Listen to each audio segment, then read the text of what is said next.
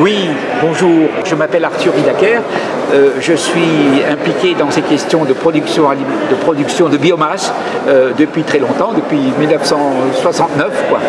Et, et, d'abord, c'était la, production de biomasse pour les forestières et ensuite la biomasse agricole.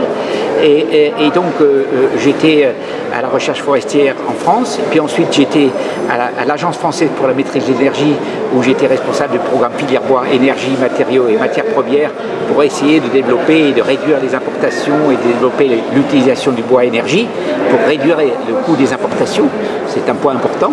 Et ensuite, j'étais au ministère de la Coopération et du Développement, ministère français, euh, où je m'occupais de la recherche. Donc j'ai eu beaucoup relations avec pas mal de pays africains. Et dans le cadre de l'Observatoire du Sahara et du Sahel, on, a eu aussi des relations avec euh, notamment, euh, notamment non seulement les pays du sud, de la mais aussi de l'Afrique du Nord, la Tunisie, l'Algérie, le Maroc. Et puis ensuite, j'étais à, la mission interministérielle de l'effet de serre, euh, qui était rattachée au Premier ministre, pour les négociations sur le climat et, pour les programmes climatiques de la France.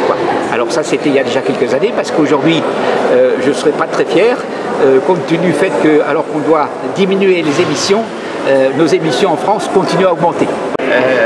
je voudrais dire deux, trois mots sur la conférence qui s'est tenue à, Tunis euh, sur la sécurité alimentaire qui a été organisée par l'Ordre des ingénieurs.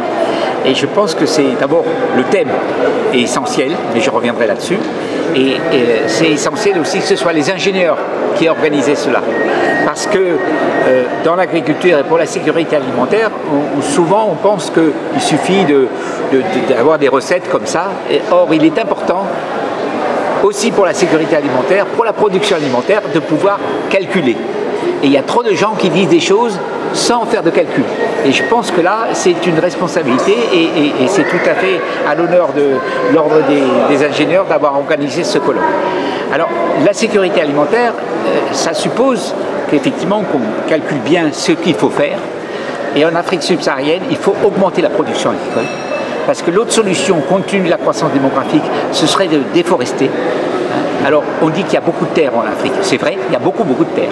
Mais si on veut aussi limiter le changement climatique, on ne peut pas déforester l'Afrique. Si on veut préserver la biodiversité, on ne peut pas déforester complètement l'Afrique.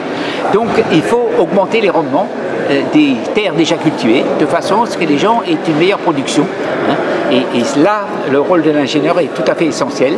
Et je pense que euh, pour la suite, souvent on dit que de ne pas mettre d'engrais, par exemple, c'est bon. Or, c'est tout à fait faux. Euh, et d'ailleurs, quand on compare les niveaux d'intrants dans les pays du Nord et aussi dans certains pays en développement euh, comme, comme l'Inde et comme même le Bangladesh, qui sont entre 150 kg et 200 kg par hectare, alors qu'en Afrique subsaharienne, on est, à moins de 50 kg et parfois très souvent à moins de 15 kg par hectare et par an d'intrants.